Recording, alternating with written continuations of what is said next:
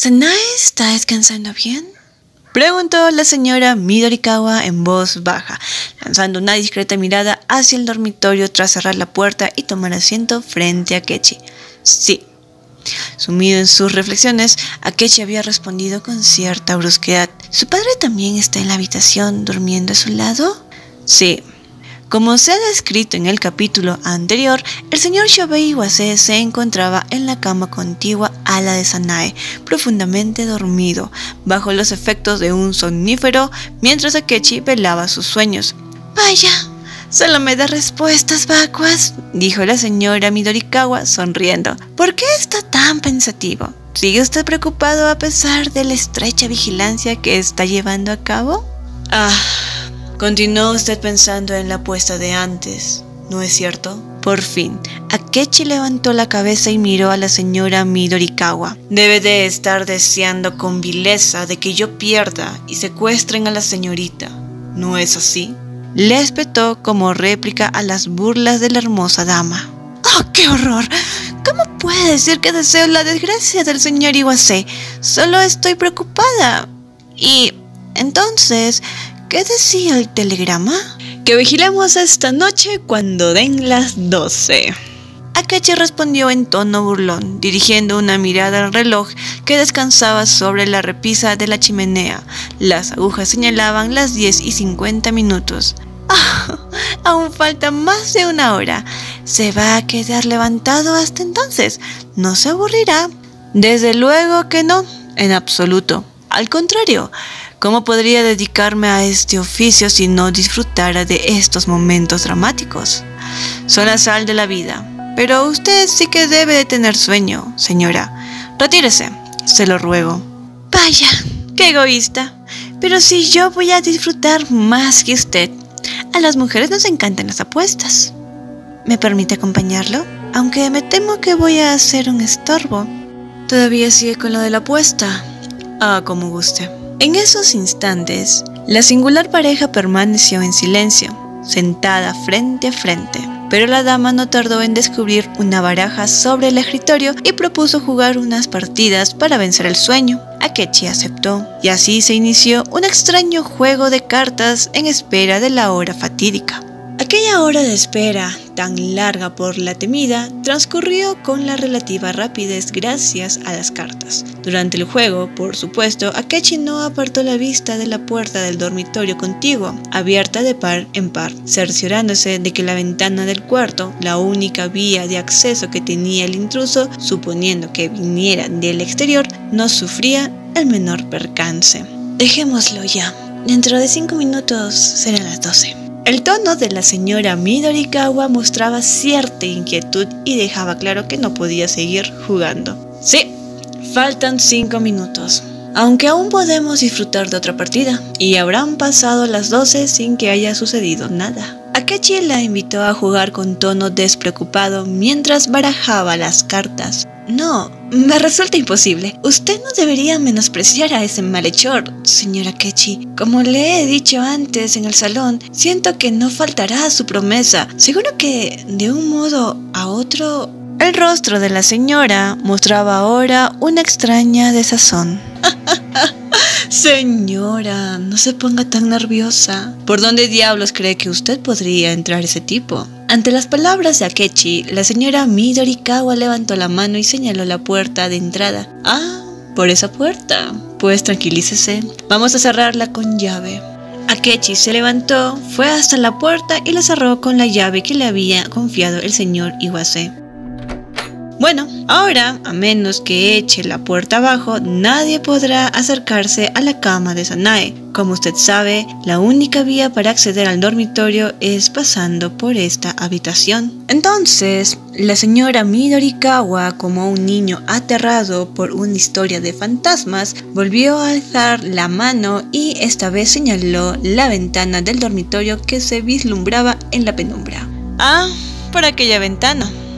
¿Cree usted que el malhechor podría colocar una escalera desde el jardín y trepar por ella hasta la habitación? Pero esa ventana tiene el cerrojo echado por dentro, ¿sabe usted? Y si alguien rompiera el cristal, lo veríamos claramente desde aquí. Llegado el caso, incluso podría mostrarle mi habilidad disparando. Mientras pronunciaba esas palabras, Akechi se dio unos golpecitos en el bolsillo derecho. Allí ocultaba una pequeña pistola. La señora se acercó a atisbar el interior del dormitorio y, en tono de sospecha, murmuró. Sanae duerme plácidamente sin enterarse de nada. Pero, ¿cómo es posible que el señor Iguacé no esté despierto? En una situación semejante, debería sentirse inquieto, ¿no le parece? Por lo visto, los dos se toman un somnífero por la noche antes de acostarse. Deben de tener los nervios destrozados por culpa de estas horribles cartas de advertencia. ya solo falta un minuto. Señora Kechi, ¿está seguro de que todo irá bien? Seguro, todo irá bien. ¿No ve que no está ocurriendo nada? La dama, que había vuelto a sentarse, se levantó de inmediato de un salto lanzando una exclamación de sorpresa. Akechi se puso en pie sin pensar y posó una mirada de extrañeza en el rostro sobreexcitado de la mujer. Pero, aún faltan 30 segundos, le gritó la señora Midorikawa clavándole al mismo tiempo unos ojos ardientes. En aquellos instantes, la ladrona estaba embriagada por el placer de la victoria. Al fin había llegado la hora de proclamar su triunfo frente al famoso detective Kogoro Akechi. Señora, ¿Tanto confía usted en la habilidad de ese malhechor? En las pupilas de Akechi se había encendido una luz. Estaba luchando ferozmente por descifrar el misterio de la extraña expresión del rostro de la dama. ¿A qué se debía? ¿Qué diablos debía de tener en la cabeza aquella enigmática mujer para excitarse de aquel modo? Sí, Creo en ella.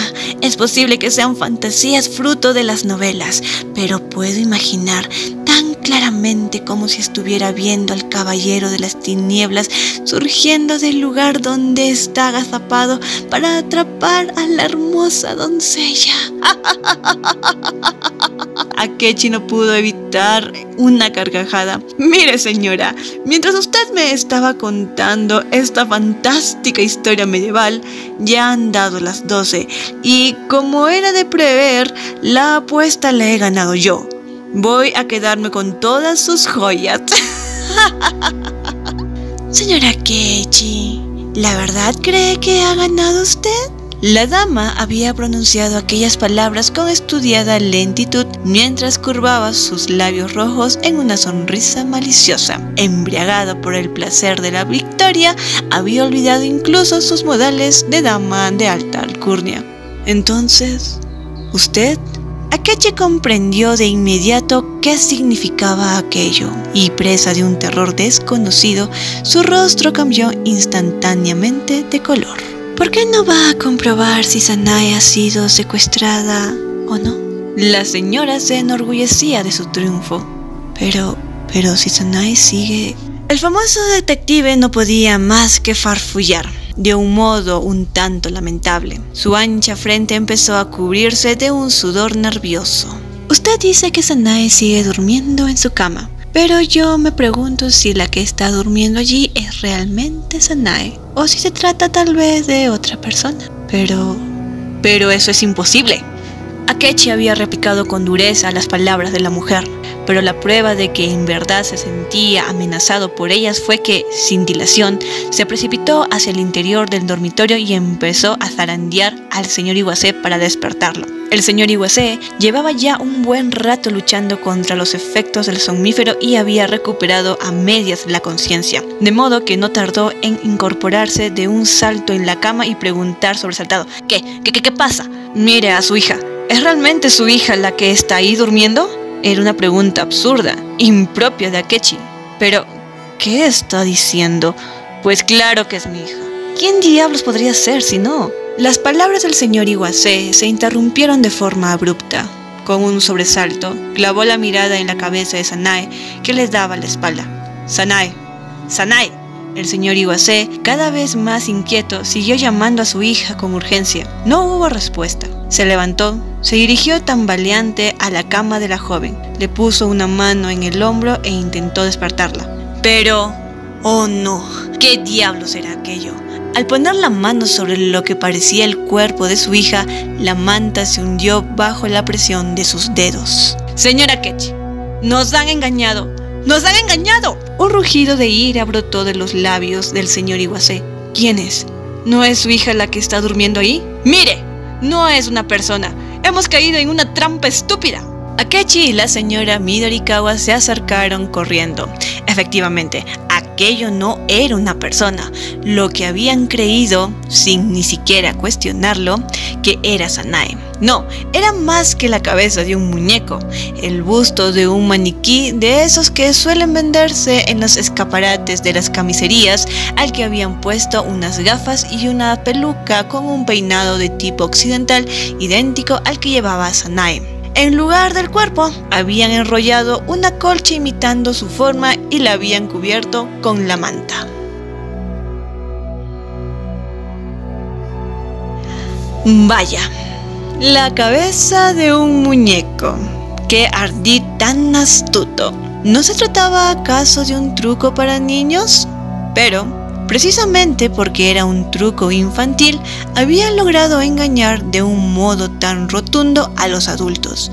Ni siquiera Kogoro Akechi había podido imaginar que el criminal tendría la osadía de valerse de un engaño tan simple.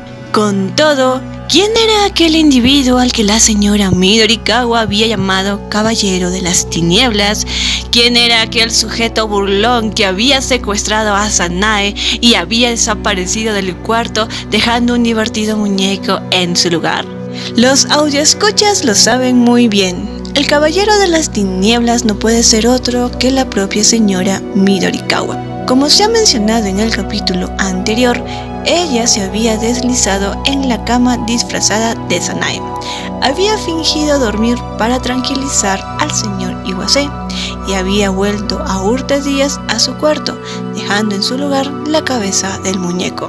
En cuanto el acaudalado comerciante, bajo los efectos del somnífero, se quedó profundamente dormido. Los lectores, sin duda, recordarán también que al introducirse de manera furtiva en las habitaciones del señor Iwase, la mujer acarreaba un abultado envoltorio bajo el brazo. Era la cabeza del muñeco, su peculiar truco de magia. En su larga vida como detective privado, Kogoro Akechi jamás se había encontrado en una situación tan humillante no poder responder a la confianza del señor Iwase por lo ocurrido y haber fanfarroneado ante la señora Midorikawa lo llenaban ahora de vergüenza. Además, el hecho de que la causa de su error hubiese sido un truco tan infantil como la cabeza de un muñeco hacía que su humillación fuese aún mayor. Señora Kechi, le confié a mi hija, pero como puede ver, la han raptado. Usted tiene la obligación de devolvérmela. Haga rápido lo que tenga que hacer. Si usted solo no es capaz de lograrlo, pida ayuda a la policía. Si está claro que solo puedo confiar en la policía, llámela ahora mismo. ¿O prefiere que lo haga yo? El señor Iwase le había escupido aquellas palabras a la cara con rudeza. Su furia le había hecho olvidar la prudencia de un caballero. No, espere un momento.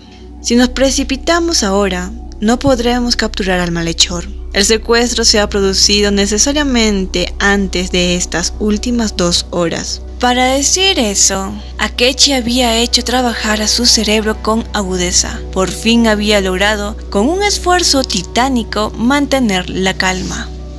Puedo afirmar con toda seguridad que, mientras yo he estado aquí de guardia, no ha ocurrido nada. Por lo tanto, lo único que cabe pensar es que el secuestro ya se había cometido antes de que llegase el telegrama.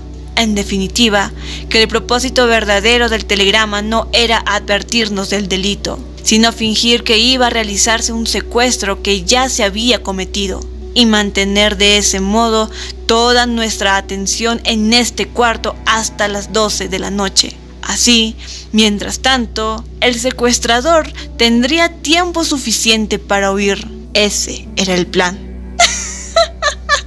oh, perdón, perdón. Se me ha escapado la risa sin querer.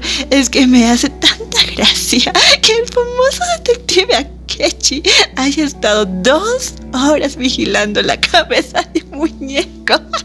La señora Midorikawa lanzaba sus burlas sin mostrar consideración alguna por las circunstancias. Acababa de obtener una victoria completa. Apenas podía refrenar su júbilo. Akechi soportó sus mofas apretando los dientes. Sin duda, él era el perdedor, pero no podía aceptarlo. De ninguna de las maneras que hubiera sido vencido por completo. Tenía la sensación de que aún quedaba un asomo de esperanza y aferrándose a él, se negaba a abandonar la lucha.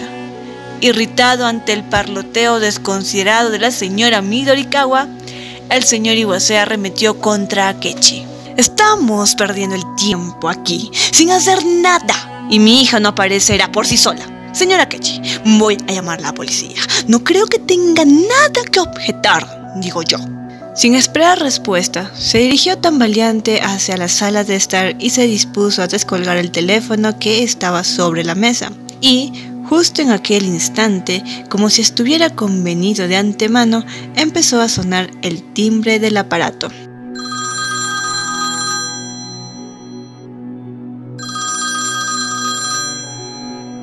Haciendo chasquear la lengua con impaciencia.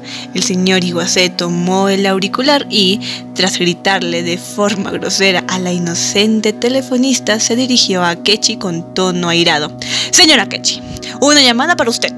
Al oírlo, el detective se sobresaltó como si de pronto hubiera recordado algo que había olvidado y corrió hacia el aparato. Escuchó con gran atención lo que le comunicaban, replicó algo y finalmente añadió. 20 minutos. ¿Tanto? 15. No, no, no. Continúa siendo demasiado tiempo. 10 minutos. Ven corriendo en 10 minutos. No puedo esperar más. ¿Comprendido? Tras pronunciar aquellas enigmáticas palabras, Akechi colgó. Cuando haya solucionado sus asuntos, ¿le importaría llamar de paso a la policía? El señor Iwase, que había permanecido de pie junto a Kechi como si esperara su turno, pronunció aquellas sarcásticas palabras con irritación. No corre ninguna prisa en informar a la policía, ¿eh? Y aún diría más. Déjame pensar un momento. He cometido un gran error. En vez de seguir hablando con el señor Iwase, Akechi se sumió plácidamente en profundas reflexiones. Señor Akechi, ¿tendría la amabilidad de pensar en mi hija, usted aceptó encargarse del asunto. Y no obstante, ante la incomprensible actitud del famoso detective, la ira del señor Iwase crecía por momentos. señor Iguacé, es que el señor Akechi no se halla en disposición de pensar en su hija. ¿Sabe usted? La voz de la señora Midorikawa, que los había seguido del dormitorio a la sala de estar, sonó de lo más jovial. ¿Eh? ¿Cómo? ¿Cómo dice? El señor Iguacé estaba atónito. Señora Akechi, a ver si adivino en lo que está pensando. Es en nuestra apuesta, ¿verdad? Por supuesto, claro que sí. La ladrona ostentaba ya una actitud claramente provocadora, mostrando sin tapujos su hostilidad hacia el famoso detective. Señor Iwase, el señor Akechi hizo una apuesta conmigo. ¿Sabe usted? Se apostó su trabajo como detective aficionado. Es por eso por lo que ahora que es evidente que ha perdido, está tan pensativo y cabizbajo. ¿Me equivoco, señora Kechi? Sí, señora. Está completamente equivocada. Estoy tan cabizbajo porque me compadezco de usted. Akechi le había lanzado su réplica sin dar su brazo a torcer. ¿Qué diablos tendría el detective en mente para descuidar de aquel modo a la muchacha secuestrada? El señor Iguacé estaba tan estupefacto que tan solo era capaz de mirar boquiabierto a los dos contendientes. Que se compadece de mí, dice. ¿Y por qué? Presionó la dama. Tampoco a la ladrona se le había pasado por alto la enigmática sonrisa que se ocultaba en el fondo de las pupilas del famoso detective. Pues porque, en definitiva, Akechi habló con una lentitud estudiada, saboreando cada una de las palabras. Quien ha perdido la apuesta no he sido yo, señora, sino usted. Vaya, pero ¿qué está diciendo? ¿Tan mal perdedor es usted? Mal perdedor. Akechi parecía divertirse. Sí, un mal perdedor, porque es incapaz de reconocer que no ha logrado atrapar al secuestrador. Ah, entonces ¿piensa usted que he dejado escapar al raptor? No, no, en absoluto, en absoluto. He atrapado al truán que lo ha perpetrado Toto. Al oír aquellas palabras, la dama no pudo evitar un sobresalto. ¿Con qué diablo salía ahora? De pronto, aquel extraño hombre que tan desanimado se mostraba unos minutos antes. ¡Qué divertido! Tengo que reconocer que usted es un gran bromista. ¿Cree que es una broma? Claro, ¿qué otra cosa puede ser si no? Entonces, voy a demostrarle que no se trata de una broma. Vamos a ver. Por ejemplo, ¿Qué pensaría usted si le dijera que sé perfectamente a dónde se ha dirigido su amigo Kensaku Yamakawa después de abandonar el hotel? Al oír aquellas palabras, la señora Midorikawa palideció y se tambaleó levemente sin poder evitarlo. ¿O por qué se ha bajado a medio camino a pesar de haber comprado un billete hasta Nagoya? ¿Y por qué ha rentado una habitación en el Hotel M de esta misma ciudad? ¿O incluso que contenía el gran baúl de este mismo caballero? ¿Eh? ¿Qué pensaría usted si yo supiera todo esto? Mentira. Es mentira. A la ladrona ya no le quedaban fuerzas para hablar, solo era capaz de negarlo todo, murmurando entre dientes. ¿Qué es mentira? dice. Ah, ya, claro. Es que usted no sabe quién acaba de llamarme. Voy a explicárselo, no se preocupe. Era un subordinado mío. Hace un rato, mientras usted disfrutaba ultrajándome, yo esperaba con impaciencia esta llamada. Como sin duda podrá entender, no podía quedarme de brazos cruzados esperando que, tarde o temprano, alguien sacara a Sanai del hotel. De modo que dispuse que cinco de mis hombres se situaran alrededor del edificio por si se daba el caso, y a los cinco les ordené que siguieran a cualquiera que saliera del hotel y les pareciese sospechoso. Ah, con cuánta angustia he esperado esta llamada. Pero, a fin de cuentas, la victoria ha sido mía. Su error, señora, ha consistido en presuponer precipitadamente que yo estaba solo, en decidir sin más que no tenía nadie que me ayudara. De modo que, tal como prometió, sus joyas serán mías. Sus carcajadas parecían imparables. Ahora las posiciones de vencedor y vencido se habían invertido. Ahora las mieles del triunfo que hacía un rato estaban en la boca de la señora Midorikawa las saboreaba aún más dulces el famoso detective, quien no habría podido dejar de reír aunque quisiera. Y ahora la ladrona, quien soportaba sus carcajadas con el mismo estoicismo del que Akechi había hecho gala. De modo que ha podido rescatar a Sanae. Felicidades. Por cierto, ¿qué ha sido del señor Yamakawa? Lo preguntó con absoluta frialdad, haciendo un esfuerzo para que no le temblara la voz. Por desgracia, ha conseguido huir. Vaya, así que el secuestrador ha huido. Entonces, la señora Midorikawa no logró ocultar su alivio. Oh, gracias. Gracias, señora Kechi. Ante aquellas inesperadas buenas noticias, el humor del señor Iwase había cambiado por completo. Siento haberme enojado tanto. Es que yo... yo no sabía nada y... Perdóneme, se lo ruego. Pero creo que usted hace un momento ha dicho que había atrapado al malhechor y ahora parece ser que se les ha escapado. No, no es así. El tal Yamakawa no era el cabecilla de la operación. Lo que he dicho antes, que había capturado al secuestrador, no era ninguna fanfarronada. Las palabras de Akechi hicieron que el rostro de la señora Midorikawa se tiñera de púrpura. Con una expresión terrorífica de bestia acorralada, barrió la habitación con los ojos. No había escapatoria posible. La puerta estaba cerrada con llave. ¿Y dónde está el criminal entonces? Preguntó el señor Iwase que parecía totalmente desconcertado. Aquí, delante de nuestros ojos, respondió Akechi sin dudar. ¿Cómo? Pero si aquí no hay nadie más que usted, la señora Midorikawa y yo. La señora Midorikawa es una temible y hábil ladrona, señor Iwase, y es la instigadora del secuestro de Sanae. Durante unos 10 segundos reinó un silencio de muerte. Los tres se clavaron las miradas mutuamente, cada uno con una expresión distinta. Poco después, la señora Midorikawa rompió el silencio. Vaya, qué estupidez. Yo no tenía por qué saber lo que tramaba el señor Yamakawa. No es más que un simple conocido. Lo único que hice fue recomendarle el hotel. Ha ido usted demasiado lejos con todo esto, señora Kechi. Acusarme a mí de algo así. Ah, pero aquella sería la última actuación de la seductora maga.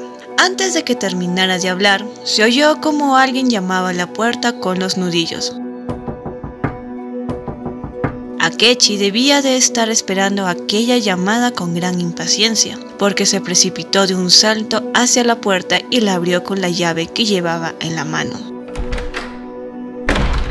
Señora Midorikawa, por más pretextos que busque, aquí tiene un testigo. ¿Podrá seguir mintiendo de una forma tan descarada delante de Sanae?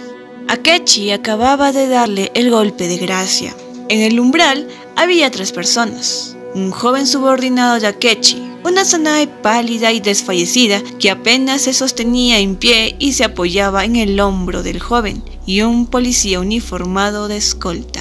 El lagarto negro, la ladrona, se encontraba entre la espada y la pared. De su lado solo estaba ella, una frágil mujer. En el lado contrario, exceptuando a Sanae, cuatro hombres entre los que incluso se contaba un policía. No había escapatoria posible. Pero, ¿con qué orgullo soportaba la situación? Ni siquiera entonces parecía darse por vencida. De ninguna manera. Más bien, al contrario, sorprendentemente, en su pálido rostro apareció una sutil pincelada de rubor y, de pronto, de sus labios brotó una sonrisa repentina que fue ensanchándose más y más. Oh, ¿Qué encontraría tan divertido aquella audaz ladrona a un paso del abismo para reírse de un modo tan extraño?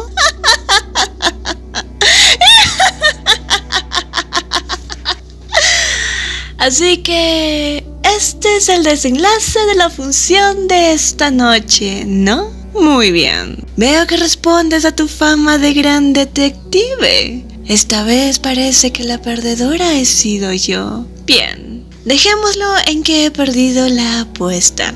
¿Y qué? ¿Qué vas a hacer ahora conmigo? ¿Acaso piensas detenerme? Sí, pues quizás sea una idea demasiado optimista, señor detective. Intenta pensar un poco más. ¿No has cometido ningún error? ¿Qué de qué estoy hablando? ¿No habrás perdido algo en un momento de descuido? ¿Cómo era capaz aquella mujer de jactarse de aquel modo? ¿Qué error había cometido Akechi?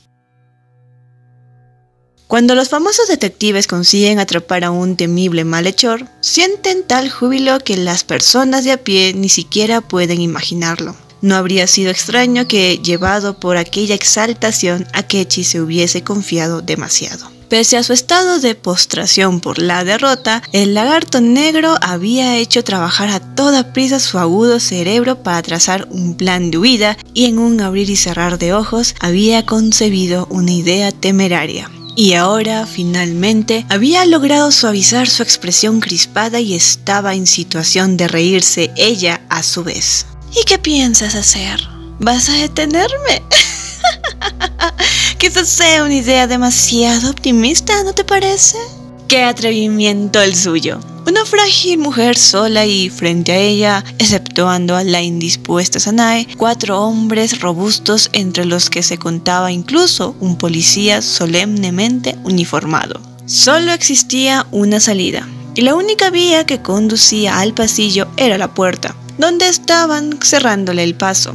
Los dos recién llegados, el subordinado de Akechi y el policía. También había la posibilidad de saltar por la ventana, pero se encontraban en el primer piso y fuera el patio estaba rodeado de edificios por los cuatro costados. ¿Cómo y por dónde pensaba huir la ladrona? Simples fanfarronadas. Agente, le entrego a esta mujer. Deténganla sin miramiento. Es la cabecilla de los secuestradores. Akechi dirigió estas palabras al policía, que permanecía junto a la puerta, ignorando el desafío del lagarto negro.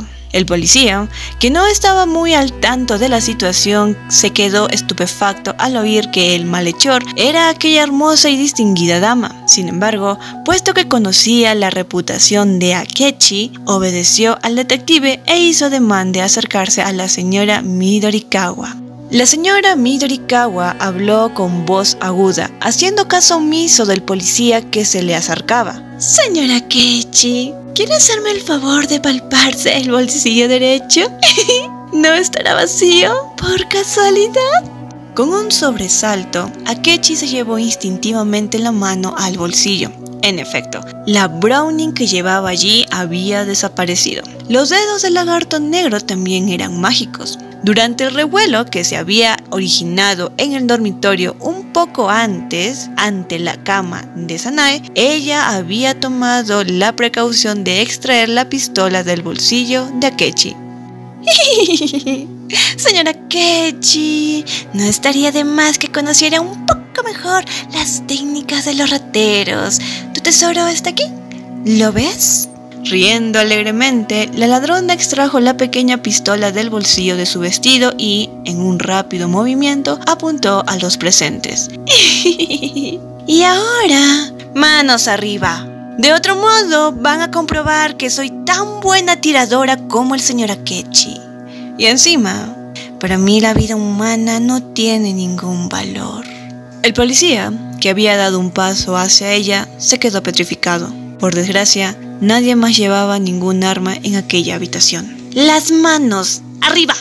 Mientras se pasaba la lengua por los labios rojos, el lagarto negro fue clavando la mirada en los cuatro hombres, uno tras otro, encañonándolos con la pistola. Los blancos dedos posados sobre el gatillo temblaban ligeramente, dispuestos a crisparse sobre él en cualquier momento.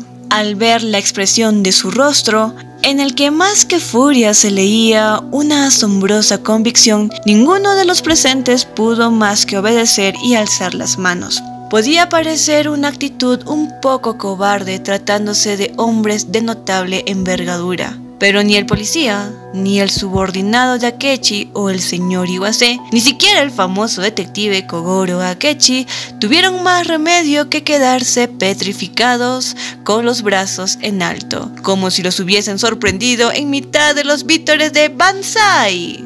La señora Midorikawa se deslizó de repente hacia la puerta, con una agilidad que hacía honor a su apodo de lagarto negro. Señora Kechi, este es su segundo error de la noche. Mire. Mientras pronunciaba estas palabras, la dama dirigió hacia atrás la mano izquierda, cogió la llave que había dejado a Kechi en la cerradura al abrir la puerta unos minutos antes y la agitó centellante ante su rostro. Condicionado por la urgencia de la situación, el detective Akechi, que no había imaginado siquiera que pudiera suceder lo que estaba ocurriendo, había dejado la llave en la cerradura ya que en detalle no había pasado desapercibido a la sagaz ladrona, que había tomado buena nota de él para, en caso necesario, usarlo más adelante. Y con lo que respecta a ti, señorita, tras abrir la puerta, ya con un pie en el corredor y sin dejar de apuntarlos a todos con la pistola, la dama se dirigía ahora a Sanae. Lo siento mucho, pero tienes que aceptar las consecuencias de ser la hija del dueño del mejor diamante de Japón. Además, eres demasiado hermosa. A mí me fascinan las joyas, pero ahora deseo todavía más tu cuerpo. No voy a renunciar jamás. ¿Me oye, señora Kechi? No renunciaré jamás. De modo que volveré a apoderarme de la señorita. Adiós.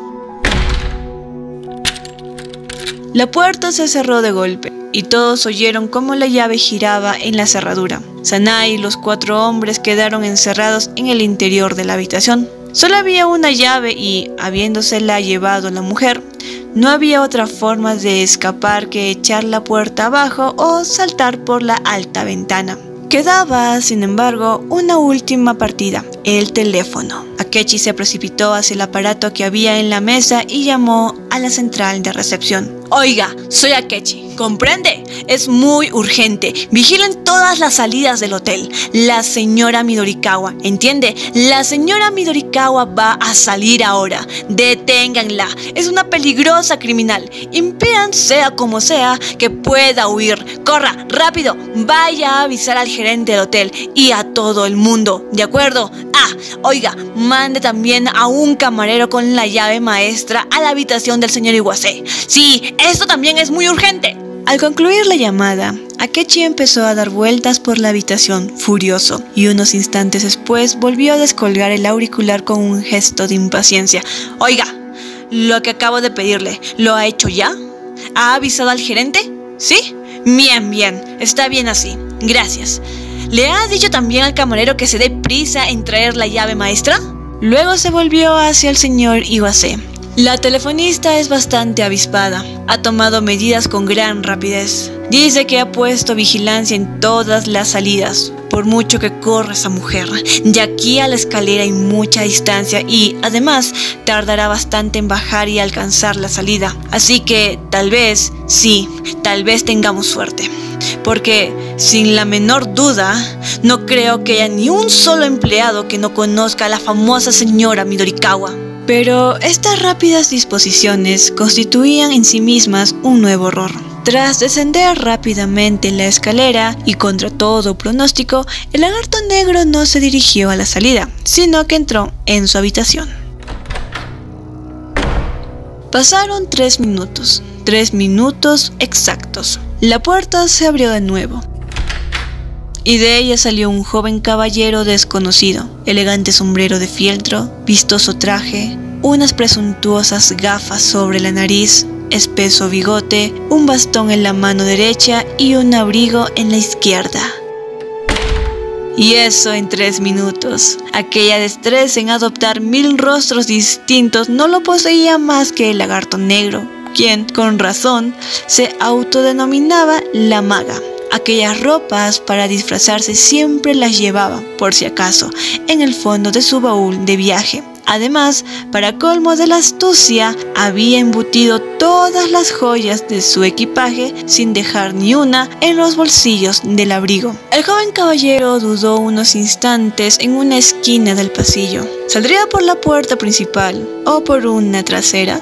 Por entonces, el camarero con la llave maestra de la habitación del señor Iguacé ya había abierto la puerta y Akechi había corrido escaleras abajo hasta el vestíbulo. Aún así, convencido de que la famosa ladrona no se atreviera a salir por la puerta principal, confió su control al gerente y él se fue a vigilar las diversas puertas traseras. Sin embargo, en un alarde de audacia, el lagarto negro, que debía de haberlo supuesto, hinchó el pecho y blandiendo su bastón cruzó el vestíbulo entre sonoros taconazos y se dirigió a la puerta principal. Allí montaban guardia tres botones, con el gerente a la cabeza, todos ellos terriblemente nerviosos. Aún así, teniendo en cuenta que en el hotel se hospedaban casi 100 personas y que muchas de ellas recibían visitas del exterior, era imposible que pudiesen recordar todas las caras y, además, como buscaban a la señora Midorikawa, solo se fijaban en las mujeres, de modo que ni se les ocurrió sospechar de aquel joven caballero que pasaba frente a ellos saludándolos con una alegre sonrisa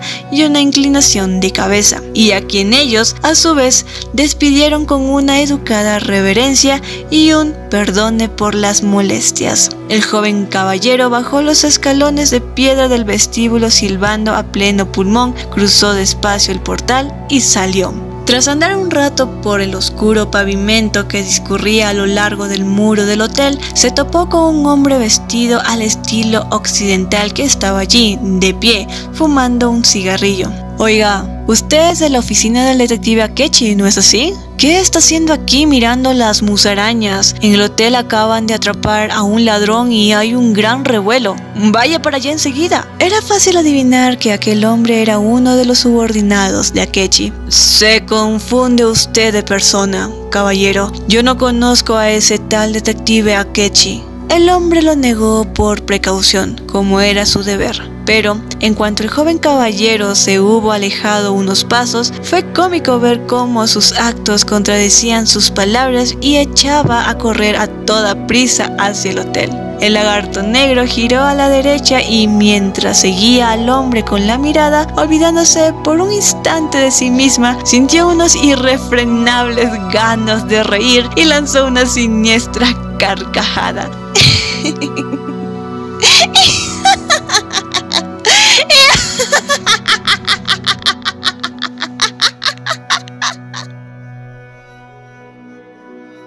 Akechi había sido derrotado. Con todo, había algunos detalles que atenuaban su derrota, pues había conseguido cumplir con meticulosidad la misión que le había sido encomendada, que no era otra que custodiar a Sanae. El señor Iwase consideró la huida de la ladrona como un hecho secundario y le agradeció que hubiera rescatado a su hija.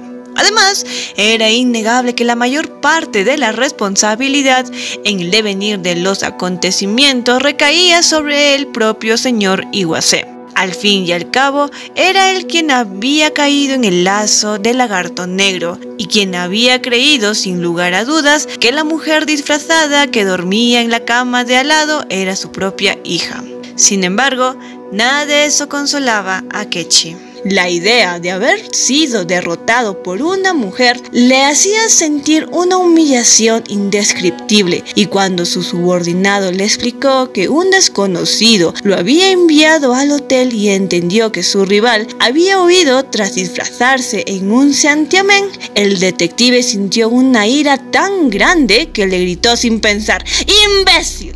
Señor Iwase, me ha derrotado. Es extraño que alguien así no figurase en mi lista negra. No debería haber subestimado a esa mujer. Pero no volverá a incurrir en el mismo error. Se lo juro por mi honor, señor Iguacé. Si esa mujer vuelve a acechar a la señorita Sanoe, no volveré a fallar. Mientras yo viva, su hija estará a salvo. Eso puedo jurárselo. Akechi había hecho esta declaración mostrando un apasionamiento casi amenazador en su pálido rostro. Su instinto combativo se había exacerbado al hallarse frente a una enemiga tan extraordinaria.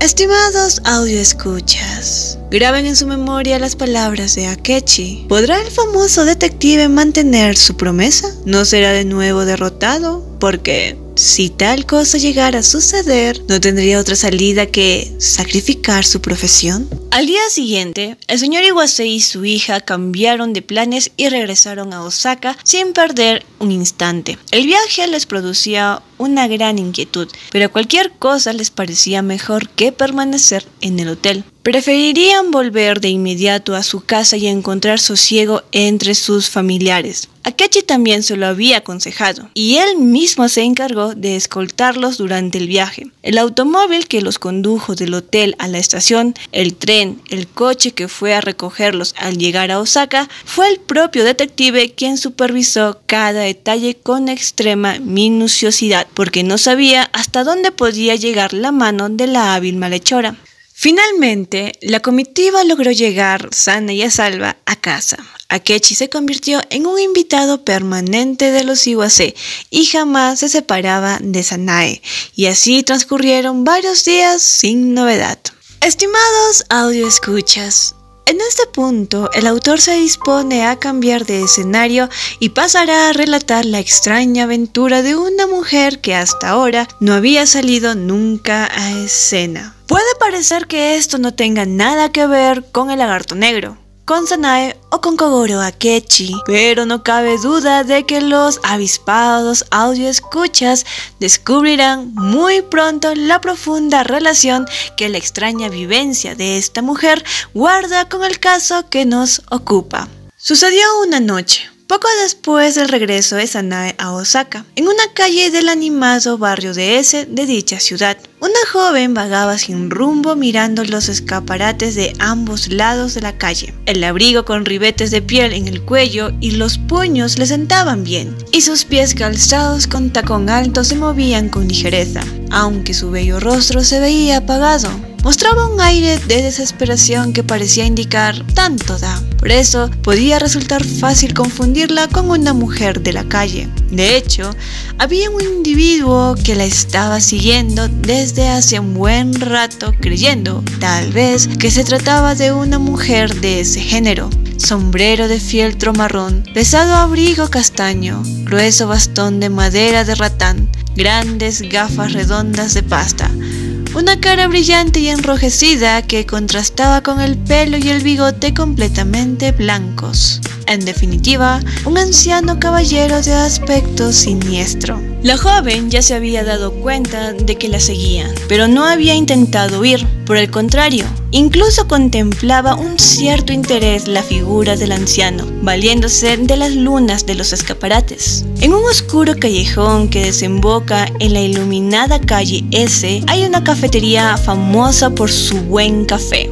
Como obedeciendo a un impulso, la joven se volvió un instante hacia el anciano que la seguía y entró en el local. Tomó asiento en un reservado de un rincón semioculto por una maceta con una palma y tuvo el atrevimiento de pedir dos tazas de café. Una de ellas, no hace falta decirlo, era para el anciano que entraría tras ella. Y como era de prever, el anciano entró en la cafetería, barrió el oscuro interior del local con la mirada y con una desvergüenza que superaba incluso la de la joven, se dirigió al reservado al descubrirla allí.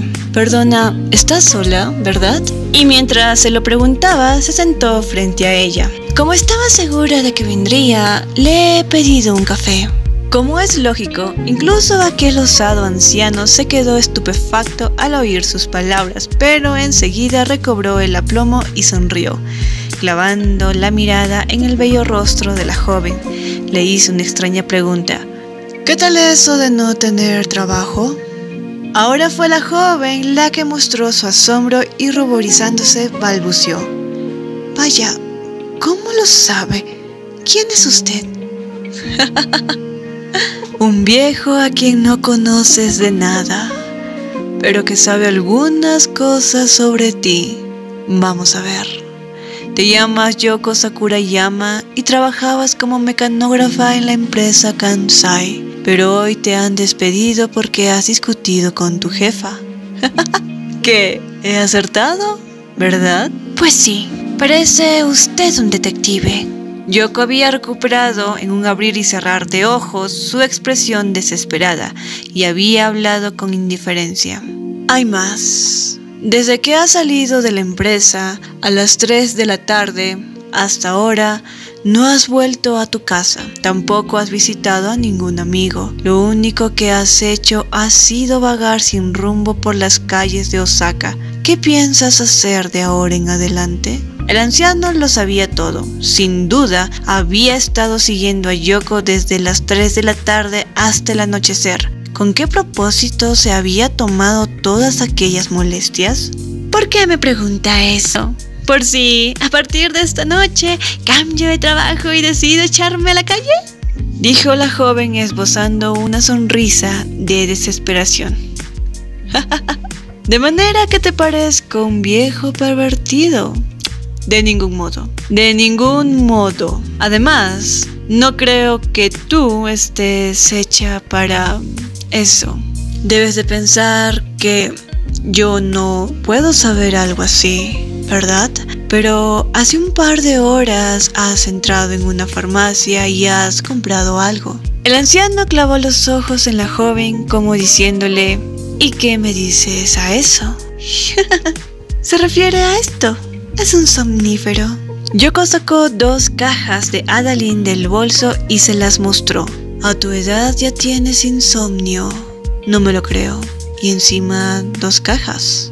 ¿Insinúa que pienso suicidarme? Sí. No soy un hombre que ignore por completo los sentimientos de una muchacha. La psicología de la juventud, que los adultos ni siquiera pueden imaginar lo hermosa que puede parecer la muerte. La inocencia de una virgen que quiere morir con el cuerpo sin mancillar.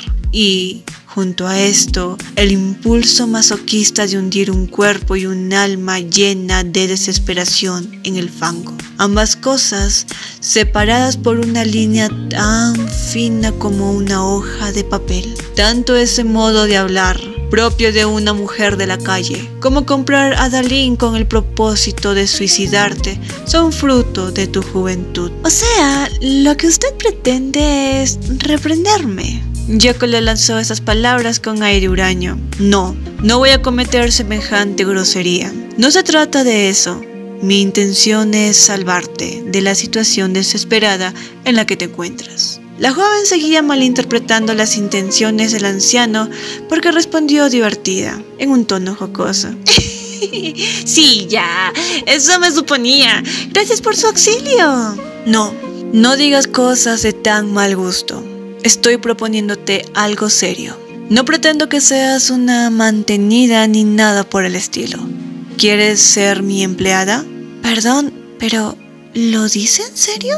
Por fin, Yoko había empezado a comprender las verdaderas intenciones del anciano. Claro que lo digo en serio. A propósito, lamento ser indiscreto, pero ¿cuánto ganabas al mes en Kansai? 40 yenes. Bien, pues yo voy a ofrecerte 200. Aparte, están incluidos el alojamiento, la comida y la ropa. Además, el trabajo consistirá en no hacer nada, solo eso. Una maravilla, ¿verdad? No, no te lo tomes a broma. Conlleva unas ciertas complicaciones que hacen que quien paga considere incluso que el sueldo es insuficiente por cierto. ¿Y tus padres? No tengo. Si vivieran, probablemente no me habría encontrado en una situación tan desgraciada. Entonces, ahora estás vivo sola en un apartamento. Bien, perfecto, perfecto. De modo que te puedes ir conmigo ahora mismo, ¿no? Lo de tu apartamento yo lo arreglaré después. Era una proposición muy singular y en condiciones normales la joven no se hubiera sentido inclinada a aceptar. Pero en aquellos momentos, Yoko Sakurayama se había planteado incluso vender su pureza, hasta había pensado en suicidarse, y fue esa desesperación la que la hizo aceptar. El anciano caballero, al salir de la cafetería, paró un taxi y la condujo al primer piso de un mísero estanco de un barrio desconocido de los arrabales. Era una estancia del tamaño de unos seis tatamis, oscurecida por el uso, sin adorno ni objeto alguno, a excepción de un pequeño espejo de pie y un baúl en un rincón. La conducta del anciano parecía cada vez más extraña pero Yoko no sentía la menor inquietud porque en el coche, durante el camino, él le había explicado, sin entrar mucho en detalles, el secreto de su misterioso contrato de trabajo. La joven más bien empezaba a sentir cierta curiosidad por el extraño papel que debía desempeñar. Y ahora, cámbiate de ropa. Es una de las condiciones de este trabajo. El anciano abrió el baúl y sacó un kimono de vistoso dibujo, justo para una mujer de la edad de Yoko. Un obi, ropa interior para llevar bajo el kimono, un abrigo negro con cuello de pieles e incluso un par de zori, con suelas de madera, un atuendo completo al que no le faltaba el menor detalle. El espejo es pequeño, pero arréglate tan bien como puedas. Y, tras decir esas palabras, el anciano bajó a la planta baja, Yoko se vistió con aquellas ropas tal como le habían indicado. Y lo cierto fue que verse envuelta en unas prendas tan lujosas no le produjo el menor desagrado.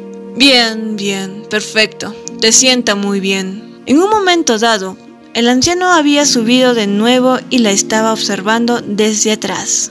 Con este kimono mi peinado se ve un poco raro. Con la vista clavada en el espejo, Yoko sentía un poco de vergüenza. También lo tengo pensado. Mira, aquí está. Claro que tendrás que ponerte esto.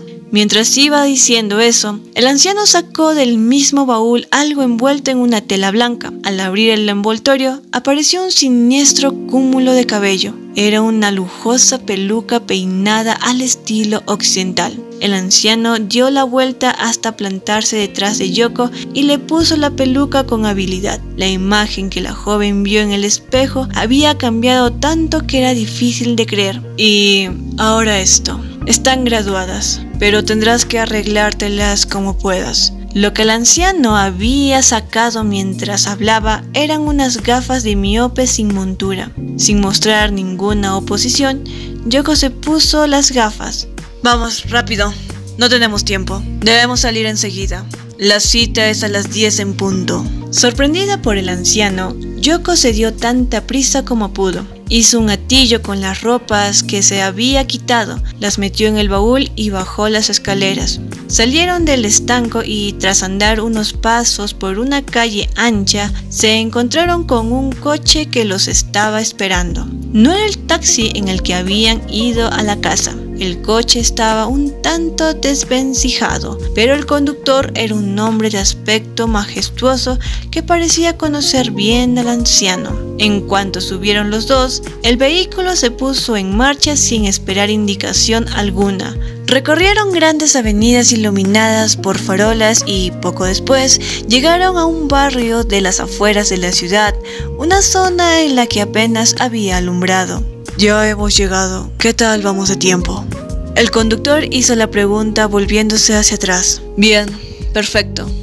Son las 10 en punto. Ya puedes apagar las luces. El conductor apagó los faros delanteros, los traseros y las luces del interior del vehículo. El coche siguió circulando a través de las tinieblas. Durante un rato, el vehículo se movió despacio a lo largo del muro de cemento de una gran mansión, que apenas se vislumbraba bajo la tenue luz de pequeñas farolas ubicadas cada pocos metros. Vamos, Yoko, prepárate y cuando salgas, camina lo más rápido que puedas. ¿Comprendido? El anciano habló como si estuviera dando ánimos a un atleta. Sí, de acuerdo. Yoko respondió con voz animosa, pese al pálpito de la emoción ante aquella extraña aventura. De pronto, el coche se detuvo ante una pequeña puerta que parecía ser la entrada de servicio de la mansión. Al instante, alguien abrió desde afuera, veloz como un rayo, la portezuela del coche y susurró una única palabra. ¡Rápido! Sin decir nada, Yoko saltó del vehículo a toda prisa, emocionada y, como le habían indicado de antemano, entró corriendo por la pequeña puerta. Entonces, de forma simultánea, cruzándose con ella, una persona que venía del interior chocó con el hombro de Yoko. Salió despedida rodando como una pelota y fue a caer sobre el asiento que la joven había ocupado hasta ese momento. A la luz de las lejanas farolas, Yoko solo alcanzó ver a esta persona durante un instante fugaz, pero no pudo evitar horrorizarse. ¿Acaso había visto un espectro? ¿Qué era todo aquello? ¿Una pesadilla terrorífica? Yoko había visto a otra Yoko. Mucho tiempo atrás, había oído hablar de la bilocación del espíritu. ¿Habría sido atacada ella por aquel misterioso fenómeno? Ahora existían dos Yoko Sakurayama. Una había entrado por la puerta, la otra había cruzado en dirección al automóvil. ¿Podría haber alguien que se pareciese hasta tal punto tanto en el peinado como en la ropa? No, de ninguna manera. Más que eso, lo que le aterraba hasta el fondo de su corazón era que incluso el rostro de la otra mujer era idéntico al suyo.